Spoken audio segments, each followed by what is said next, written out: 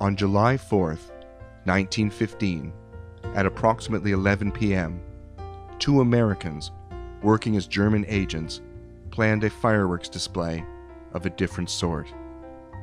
A bomb was to be exploded at the stockyards adjacent to the Canada Southern Railway Station in St. Thomas, Ontario. The resulting explosion was intended to kill a shipment of horses destined for the Allies in Europe and disrupt the movement of men and supplies vital to the war effort. The night of July 4th became the morning of July 5th, without the residents of St. Thomas knowing how close they came to being on the front line of the First World War. By the outbreak of the war, St. Thomas had become a vital link in the economy of North America. When war erupted in Europe, the railways were called upon to move the men, equipment, and supplies to sustain the war effort. The importance of St. Thomas in this complex chain was not lost on the enemy. In 1915, St. Thomas became tangled in a web of intrigue complete with coded telegrams, suitcase swaps, false names, and all that early 20th century spycraft had to offer. In 1915, the United States had not yet joined the fight and struggled to maintain its neutrality. Germany maintained diplomatic relations with the Americans, and its embassies and consulates remained open. It was from the German consulate in San Francisco that the St. Thomas plot originated. German diplomatic outposts had become a network of intelligence and sabotage operations. The San Francisco and New York consulates conducted campaigns across North America, into Mexico, and reaching as far as India and Ireland. The consulate served as paymaster for local recruits or German expats in sensitive positions. The plot against St. Thomas was carried out by two Americans, Charles C. Crowley and Lewis J. Smith. Crowley, who had eight fingers, he'd shot two fingers off his left hand while cleaning his gun in 1901, was the ex head detective of the Southern Pacific Railroad, fired for a range of criminal activity. Smith was a well dressed, well spoken man in his early 30s with a smile and easy manner that served him well in his career as a con man.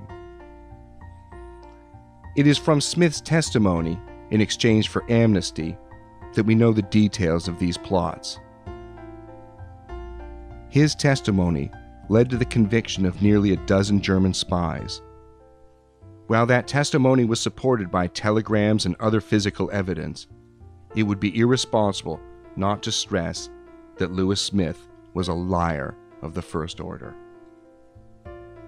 The pair had been recruited by German agents and were paid $300 per month.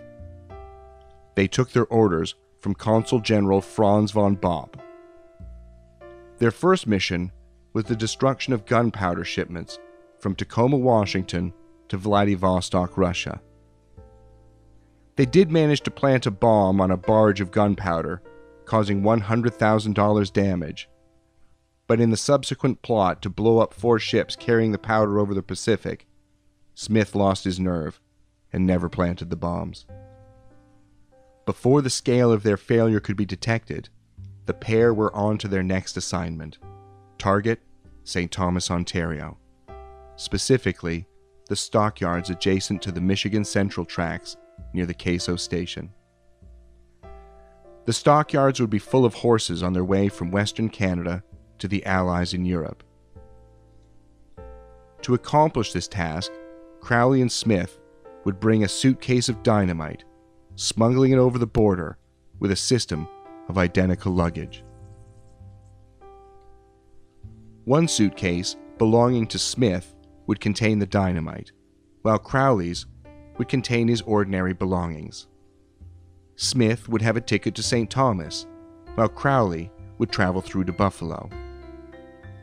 With some swapping of seats and suitcases, the pair were able to have Crowley's suitcase searched by the customs inspector and Smith's ignored, as it was believed to be continuing to Buffalo and thus not subject to customs inspection. The smuggling ruse worked, but Smith was not carrying dynamite. He had dumped the explosives on the outskirts of Detroit and replaced it with some bricks he had purchased from a night watchman on a building site. It appears Smith had no intention of carrying out Crowley's bombing mission. Immediately upon his arrival in St. Thomas, Smith disposed of the bricks, purchased some clothes and traveling supplies, and caught a train to New York. At this point, there is a disruption in the spy network's communications.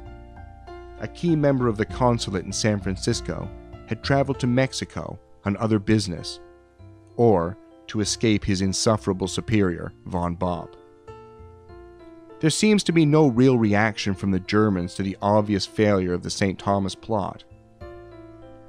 Crowley is able to distract them with a new plot on gunpowder works in Michigan and Indiana.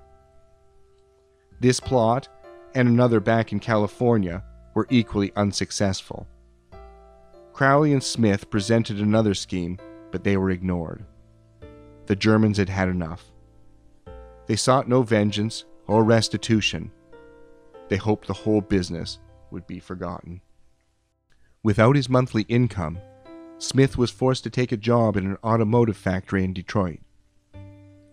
He soon felt he was being followed. His wife believed Crowley was stalking them in disguise. They became increasingly worried for their safety and decided to go to the police. On October 15, 1915, Lewis Smith walked into the office of the United States Attorney in Detroit and told them his story. At first, they were not sure what to make of him, but after several interviews, they realized this unassuming young man had just revealed the inner workings of the German spy network in North America and their involvement in shipping of arms to India, Mexico, and Ireland. Crowley, von Bopp, and two of his subordinates were convicted of violating the neutrality of the United States and jailed for two years. Crowley's secretary, key in the network's communications, was sentenced to one year. Smith and his wife were granted immunity for their testimony they quietly disappear from history. To learn more about our local history or to see a schedule of our events, please visit elginhistoricalsociety.ca.